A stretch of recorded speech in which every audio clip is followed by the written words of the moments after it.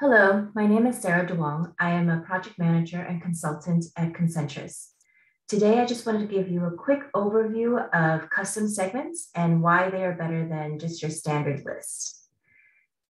So to create a custom segment, it's fairly easy. You just go to customizations, list records, and go to custom segments and new.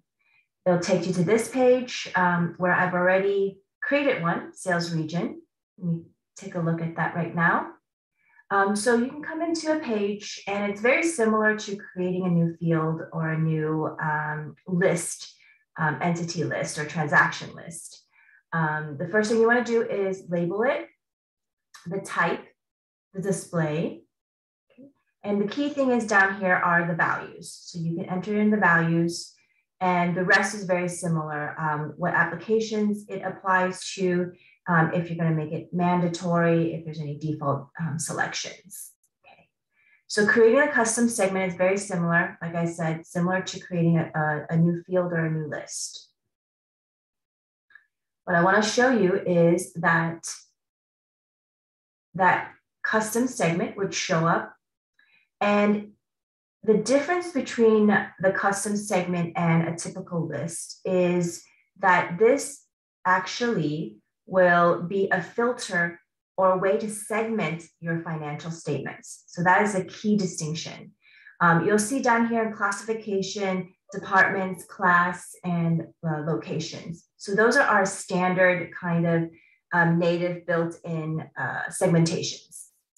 Sales region will act very similar to those segments. And what I wanna show you is on the income statement here. So this is a standard income statement what I did was I, in the column, I filtered it for sales region. So right here is the ability to filter it by your segmentation. So normally you would see, for instance, your department and your location here and by subsidiary. But now because this is a custom segment and not just um, a list um, on a list field on your, your uh, uh, transactions, it will come up here as a way to segment your financial statements. So you would select um, sales region or sales region um, hierarchy, and you would click refresh, and you'll see that your income statement is automatically broken out um, by the way you segmented your, um, in this instance, my invoices for revenue.